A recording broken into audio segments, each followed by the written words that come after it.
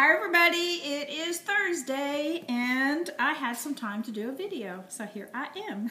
I wanted to show you a couple things. I can now show you Jason Crouton Cracker Jack's uh, ornaments that he sent me because everybody from the Ornament Exchange has now gotten, gotten their ornaments. So I won't be ruining any surprise uh, showing his ornaments. Anyway, um, first of all though, I want to show you, I got my first uh, Christmas card. It is from Beth, Silver Screen Girl, or Cooking and Crafting, however you might know her. Uh, anyway, thank you, Beth. It's my first first uh, Christmas card of the season. uh, now I want to show you Jason's uh, ornaments. First of all, they are these are the whoops snowflakes that he crocheted. And uh, how this came about of him sending me ornaments was that he contacted me to find out what I had used to stiffen mine last year at the Ornament Exchange. Last year I made some snowflakes and some little angels, and uh, he wanted to know how I stiffened them. And so anyway, I told him, and he was able to get the stuff, and, and it worked out great for him. And as a result, he, he felt compelled to send me some ornaments. I love it. Uh, so thank you, Jason. I just love them. They're beautiful. He sent me three. I never did make any for my own tree of the ones that I made last year, so it's great to have these. I just never found time to, to make extras. I just didn't.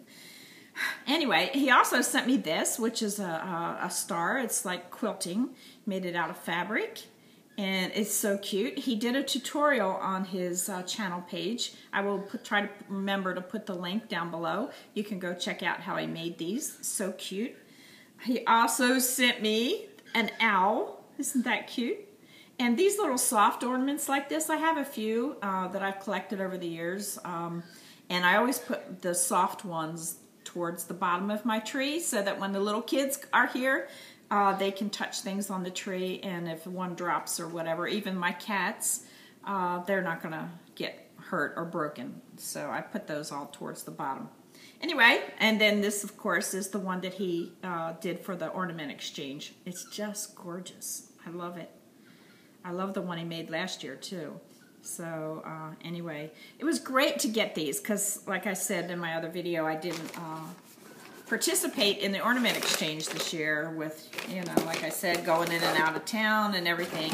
I just knew I wouldn't have time.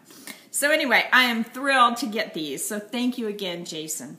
Uh, the other thing I've been working, I've been knitting, of course. Um, I got three quarters of almost a whole sleeve made and I got to finish the bottom and uh, of course I didn't weave in any of my ends yet so I still have that to do but that's like the last thing you do. So this is Cole's sweater. I tried it on him this past weekend and it fits. I was excited about that. It's even a little loose so it's great and then I tried Brighton's sweater on him and there was a problem thank goodness I tried it on because the neck would not fit over his head Apparently when I bounded off the last row of the neck edge, I did it, I guess, a little bit too tight and it wasn't stretchy enough.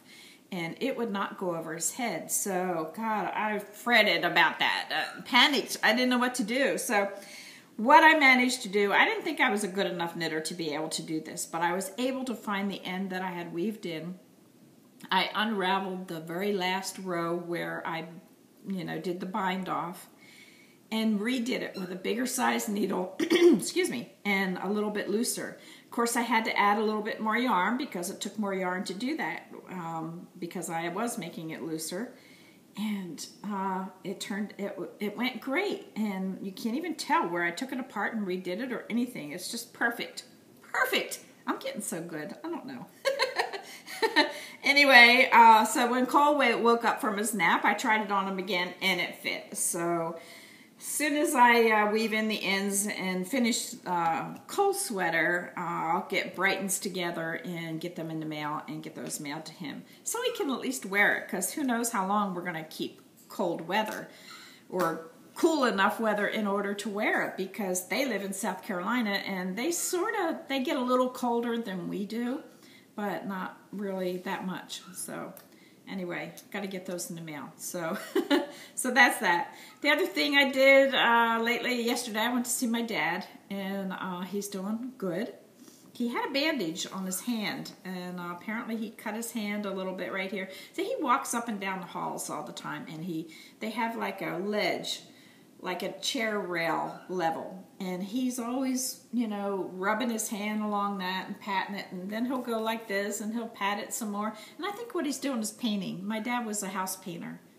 And uh, I think he's, you know, painting the ledges or something. I don't know. But anyway, uh, when you get old, my dad's 85. He'll be 86 January 1st. And uh, your skin gets papery thin. And I guess his is just really thin. And he must have hit something. And it, you know, cut his hand a little bit. So anyway, he has this big bandage on his hand. But it's fine. And, uh, but he was talking uh, yesterday, reminiscing about a great aunt, one of my great aunts, his aunt, and uh, I said, I love you, Dad. And he said, Yeah, Aunt Lou loves you. Aunt Lou loves everybody. We love everybody. That's what's important. That everybody loves everybody else. And nothing else is important. And, and he just was talking about my aunt. And that's the first time he mentioned anybody from the past. And um, so I found that amazing because he hasn't done that in a really long time. And I was beginning to think he had lost all those memories but he still has some. so I was thrilled to know that. So, but he's doing great, and uh, well, as you know, as well as can be expected. Uh, he can still walk good and feed himself and all of that good stuff. So he's he's okay. Uh, the other thing, we're planning Lawrence's birthday party. We're going to have it this Saturday. His birthday is Wednesday, 12 12 12. Straight, you know, those numbers won't come up very often, those kind of numbers. So 12, 12, 12. Uh, so Wednesday, uh, December 12th is his birthday. So we're going to have the party this Saturday rather than next Saturday. And he wants to have it at Incredible Pizza. He's going to be five. so, so it's just going to be Lawrence and Cole and one other little boy. Um, and uh, I think it'll be fun. He, he loves to go to those places and play all the games and everything. So Christy called today and reserved one of the party rooms. And so that'll be fun. So we'll be doing that Saturday. Uh, other than that, not a whole lot going on. Um, hmm, that's about it.